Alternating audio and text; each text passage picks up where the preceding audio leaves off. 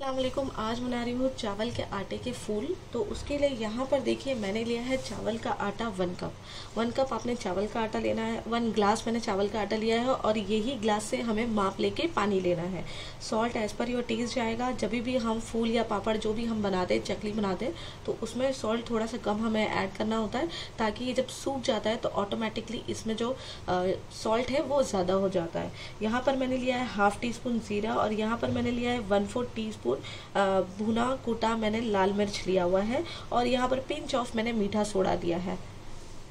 देखिए, मैंने जो बर्तन में चावल के फूल बनाने हैं, चावल के आटे के फूल, वो मैंने बर्तन ले लिया है और यही ग्लास के माप से मैंने एक कप चावल का आटा लिया हुआ है। तो मैं इसके अंदर अभी चार ग्लास पानी ऐड करूँगी। चार ग्लास पानी ऐड करूँगी, एक ग्लास मैंने चावल का आटा लिया था। तो ये पहला पानी को मैं गैस पे चढ़ा देती हूँ। देखिए, जो चावल का आटा है, उसके अंदर ये जो आधा ग्लास है, मैं अब इसमें डाल दूँगी। इसे मिक्स करूँगी अच्छे से। इसमें लम्स वगैरह नहीं जमना चाहिए। इसे मैं अच्छे से मिक्स कर लूँगी और फिर बाकी का पानी इसमें ऐड करूँगी। ये देखिए। ये पूरा पानी मैंने इसमें ऐड कर दिया है। इसे मैं अच्छे से मिक्स करूँगी अभी। ये देखिए। थोड़ा सा पानी हमें और लगेगा इसके अंदर। मतलब पहले हमने चार गिलास पानी बॉईल करने के लिए रखा है और एक गिलास इसमें गया है। पाँच गिलास हो गया। अब यहाँ पर मैंने आधा गिलास पानी और ऐड किया है। मतलब कि इसमें डेढ़ गिलास पानी लगा है। मतलब कि साढ़े छः गिलास पानी हमें एक कप सॉरी एक गिलास आटे में लगा है। इसे मैं अच्छे से मिक्स कर लेती हूँ अभी। साढ़े छः नहीं, हमें सात लगेगा। और इसे मैं अभी अच्छे से मिक्स कर लूँगी। एक ग्लास चावल के आटे में हमें सात ग्लास पानी लगेगा। जो चावल का आटा था, उसमें मैंने दो ग्लास पानी ऐड किया था।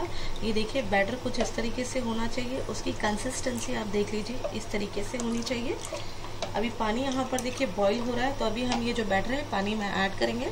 पानी में अच्छा बॉईल आ रहा है तो अभी हम इसमें सॉल्ट ऐड करेंगे। अच्छा अगर आप चाहो तो अभी आप इसके अंदर ज़ीरा और काली मिर्च सॉरी काली मिर्च भी ऐड कर सकते हो बट मैंने यहाँ पर ज़ीरा ऐड किया है। और यही स्टेज पे अगर आप चाहो तो आप ज़ीरा और लाल मिर्च भी ऐड कर सकते हो बट मैं एंड में ऐड करूँगी।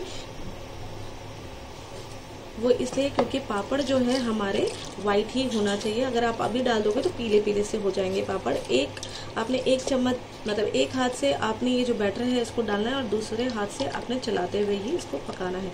अभी आपने हाथ बिल्कुल भी नहीं रोकना है। आपने ये जो पूरा पापड़ बनने तक आपने बस हाथ चलाते हुए ही मतलब कि इसे स्टर करते हुए ही आपने कुक कर लेना है। लो टू मीडियम फ्लेम पे ही आपने कुक करना है, वरना ये हो जाएगा कि जो चावल है वो कच्चे रह जाएँगे। ये जो चावल का आटा है, ये थिक हो जाएगा, लेकिन ये कच्चा रहेगा कि पापड़ फिर हम फूलेंगे नहीं। तो आपने लो टू मीडियम फ्लेम पे ही इसे अच्छे से कुक कर लेना है, जब तक ये गाढ़ा ना हो जाए थिक ना हो जाए ट्रांसपेरेंट ना हो जाए जब तक।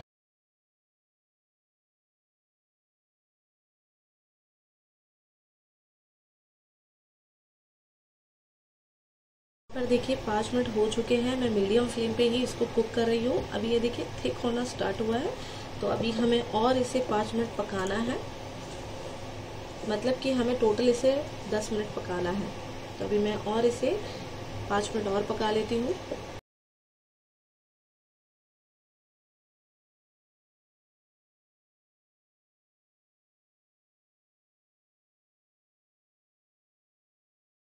दस मिनट हो चुके हैं। अब मैं आपको बताती हूँ कि इसका साइन क्या होता है, चेक करने का कि ये पक चुका है।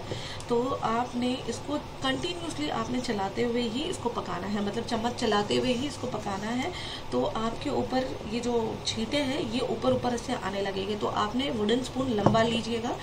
मैंने बढ़िए की रेसिपी भी आप लोगों के साथ में शेयर की है। मुरकुल जिसे कहते हैं, हैदराबादी मुरकुल, उसकी भी रेसिपी मैंने आप लोगों के साथ में शेयर की। सेम यही मेथड होता है। मोस्ट ऑफ़ द पापड़ में यही मेथड होता है कि हमें उसे इतना पकाना होता है और हमने उसका चार गुना, पाँच गुना पानी लेके उसे कुक करना होता है।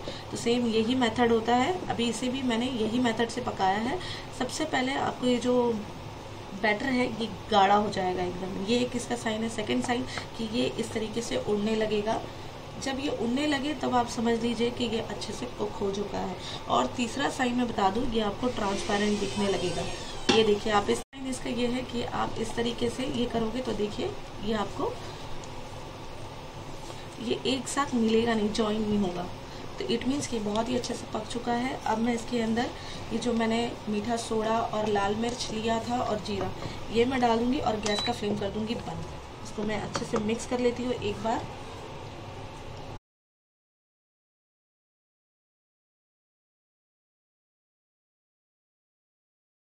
इसे मैं अभी कवर कर दूँगी और आधे घंटे के लिए इसे छोड़ दूँगी ठंडा होने के लिए। यहाँ पे देखिए, मैंने एक बड़ा सा थाला ले लिया है। उसके अंदर मैं थोड़ा सा ऑयल इसमें लगा दूँगी।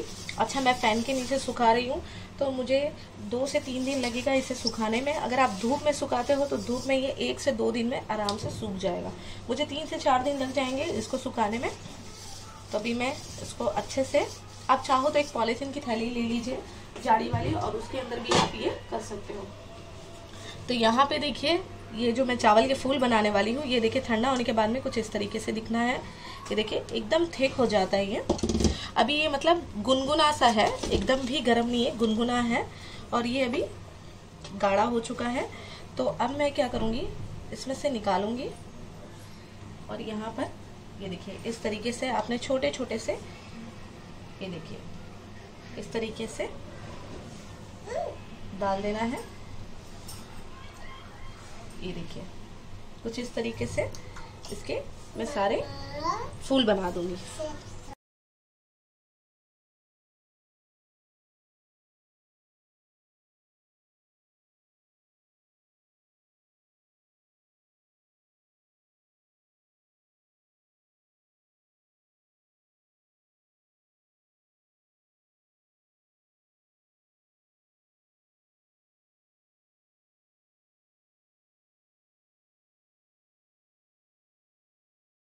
देखिए, मैंने जो चावल के फूल है, ये मैंने बना दिए हैं, चावल के आटे के फूल।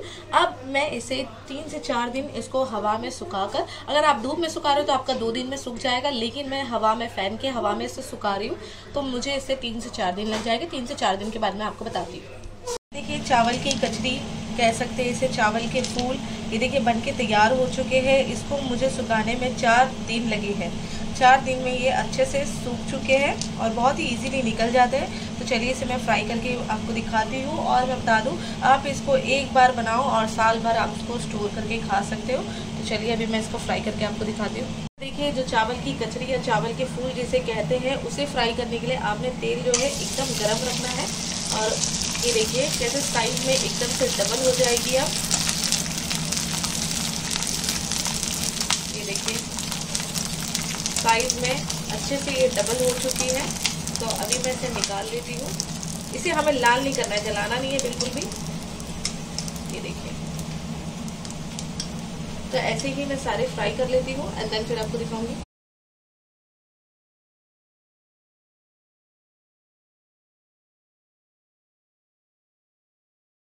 यहाँ पे देखिए, चावल की कचरी या चावल के फूल देखिए बनकर तैयार है। तो चलिए, अगर आपको मेरी रेसिपी अच्छी लगे तो लाइक कीजिएगा शेयर कीजिएगा और मेरे चैनल को ज़रूर सब्सक्राइब कर दीजिएगा। ये देखिए, इसे मैं आपको तोड़ के भी दिखा देती हूँ। ये देखिए कितनी सॉफ्ट बनी है ये। आपको तोड़ के दिखा देती हूँ। ये देखिए, बहुत ही अच्छे से ये टूट रही है।